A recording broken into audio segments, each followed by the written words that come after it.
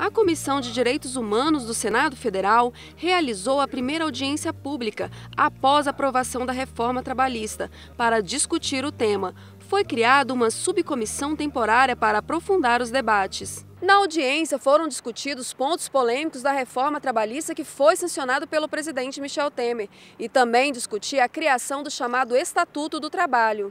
Depois da aprovação da reforma trabalhista a, e de toda a, a, digamos assim, a sequência de ilegalidades e inconstitucionalidades implementadas pela nova legislação, não restou outra alternativa aos atores sociais em interpretativos, digamos assim, juízes, procuradores, auditores, para é, tentar combater a lei das, da forma que nos foi posta. O procurador do MPT citou a elaboração do Estatuto do Trabalho, criado pela subcomissão temporária da CDH. O senador Paulo Paim criou uma subcomissão dentro da CDH para o estudo e elaboração de um Estatuto do Trabalho.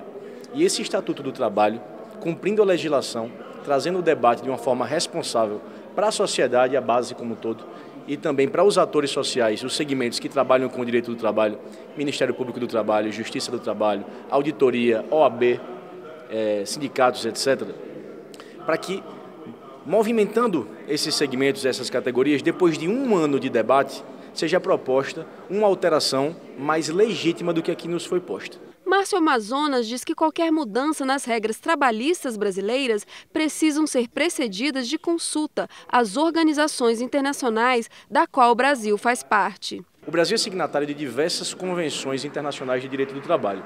Uma das convenções, a Convenção 144, no seu artigo 2 exige que a alteração de direitos sociais seja precedida de uma consulta às organizações do trabalho nesse âmbito. E isso não foi realizado. Em relação do caráter supralegal das convenções ratificadas pelo Brasil, nós, atores sociais, Ministério Público, magistrados, vemos essa lei com bastante ressalva, porque ela não respeitou um procedimento necessário. Para o senador Paulo Paim, do PT do Rio Grande do Sul, o Estatuto é uma nova CLT. A construção, eu diria, de uma outra CLT, uma verdadeira CLT, que eu chamo Estatuto do Mundo do Trabalho, que respeite os direitos conquistados pelos trabalhadores na vida toda e que agora, numa canetada praticamente, eles estão arrancando. Qual é a minha intenção?